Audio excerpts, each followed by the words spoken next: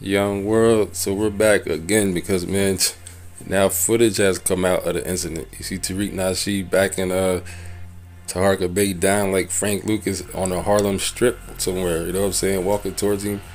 This is crazy. Then you do see him throw the slap, and it, it looked to me like the, like it connected. Taharka Bey say it didn't connect. I mean, it's hard to really see from there, but just the way his head jerked back like that, it appears though a connection was made. But uh, this is crazy. Tariq Nasheed walking down on him like like Frank Lucas. Um, so one of them type of. this is just crazy.